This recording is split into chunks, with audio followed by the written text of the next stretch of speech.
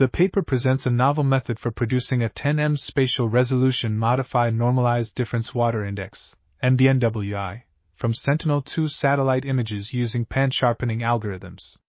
For popular pan sharpening algorithms, including principal component analysis, PCA, intensity hue saturation, IHS, high pass filter, HPF, and à trous wavelet transform, ATWT, were applied to the study.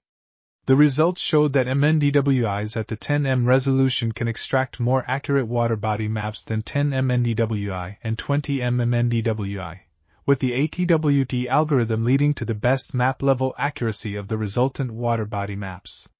However, there is no necessary positive connection between the accuracy of the sharpened MNDWI image and the map level accuracy of the resultant water body maps. This article was authored by Yundu, Yihang Zhang, Feng Ling, and others. We are RTCL.TV, links in the description below.